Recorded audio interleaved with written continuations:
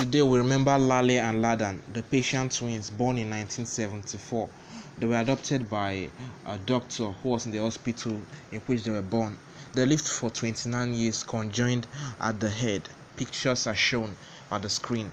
Um, they became graduates of law, and life was especially difficult to them because um, things that normal people could do, they could not get to do it, like things like picking a pencil from the floor maybe moving through a, a, small door, entering into a car, and um, things like that were so difficult for them because they were conjoined at the head. And um, interesting to notice that they actually became um, lawyers despite that difficulty.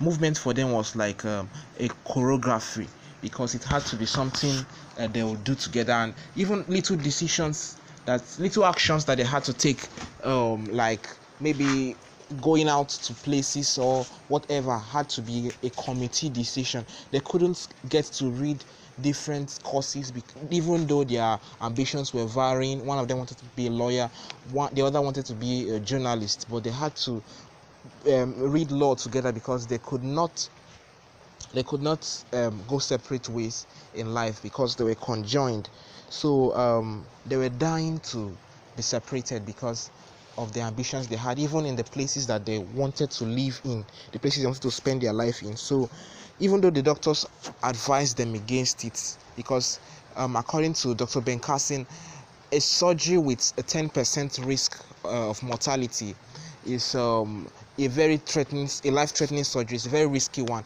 So to consider that Lale and Ladan had to undergo a surgery with 50% um, chance of mortality, that is chance of death, is um, actually um, unimaginable. But because they considered it um, better to die than to continue living conjoined, they actually opted for a surgery. So um, in 2003, they went in for a surgery even though the doctors advised them against it.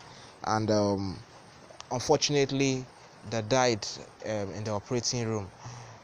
So why are we learning about this story even though it has a somewhat sad ending? What we're supposed to learn from this story today is that no matter the challenge that you might be facing do not get tempted to conclude that you are facing the worst of challenges in life because today we can see that Laleh and Ladan faced almost the um, should I call it the unimaginable? Something that you can't imagine that someone else be going through. This is what Laleh and Ladan faced. So it's that's how it is for every human being in this life. Everybody has a challenge. So the fact that you are facing a challenge should not mean that you will give up on life or feel that oh I'm the I'm the I'm, I'm the one facing the worst challenge. Because when you know that you're not the only one going through a situation, it should give you um, a kind of uh, urge to fight and to become victorious. So I hope to see you keep fighting and to come out at the victorious end. Important to note again is that these two twin at the head could still manage to become lawyers. So it's not an impossible thing to keep on moving forward despite your challenge. And I hope to see you at the victorious end.